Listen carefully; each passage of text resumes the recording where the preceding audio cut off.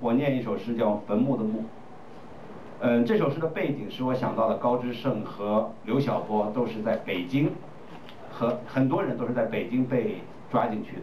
那么这首诗的背景就是非常北方的一个意象，坟墓的墓，墓。码头高耸的北国，黄昏，从太阳的腹部上升，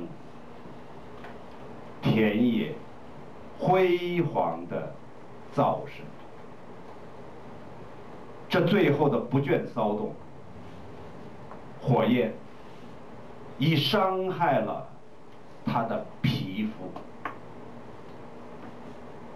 拼贴成花朵。一个炉膛拂面的颤抖，严酷，有水煮沸的愤怒，有灼夜的歌迁入黄土，穷尽危险的交媾。穷尽，围抱成囚笼的自由。